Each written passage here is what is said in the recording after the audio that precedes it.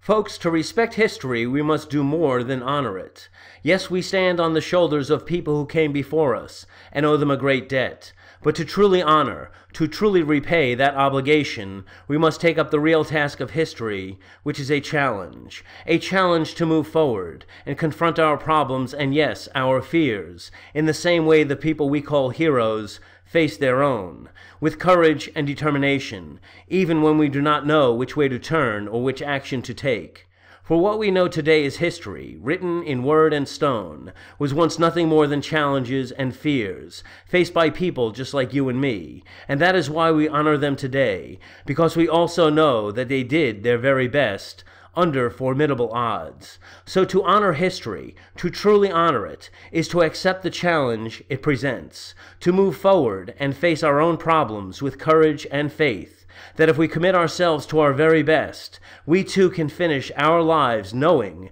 that we have paid that debt to the past and in the process laid another stone in the foundation of the future, creating our own history for generations to come.